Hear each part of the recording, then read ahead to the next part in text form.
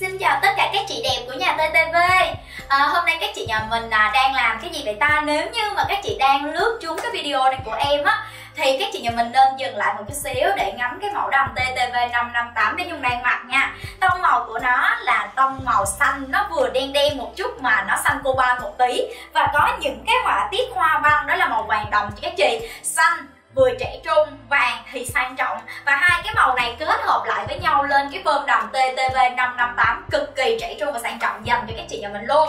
Mẫu đầm này bên nhà em được thiết kế bằng chất liệu vải lụa vân pháp cao cấp.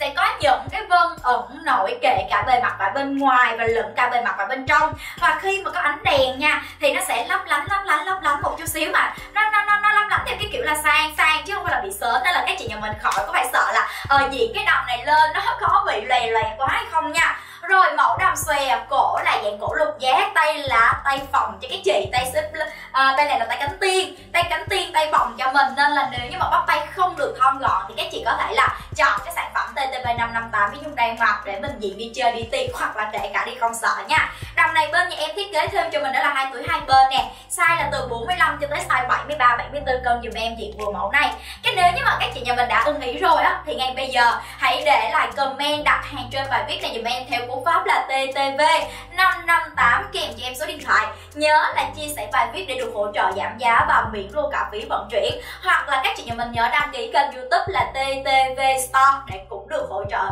phí vận chuyển và miễn luôn cả 20 ngàn cho mình mọi sản phẩm nha. À nếu như mà chị nào nhà mình ở gần ba chi nhánh á, thì ghé luôn dùm em tại cửa hàng là 1192 Quang Trung, phường 8, Tòa Bắc, thành phố Hồ Chí Minh 22 Phú Lợi, Phú Hòa, thành phố Thủ Dầu Một, tỉnh Bình Dương và 439 Lụy Văn Bích, phường Hiệp Tân, quận Tân Phú để cùng em trải nghiệm cái sản phẩm này và săn sản phẩm này về nhà của mình nha. Cảm ơn tất cả các chị đã xem hết video này của nhà TTV Và các chị ơi hãy nhớ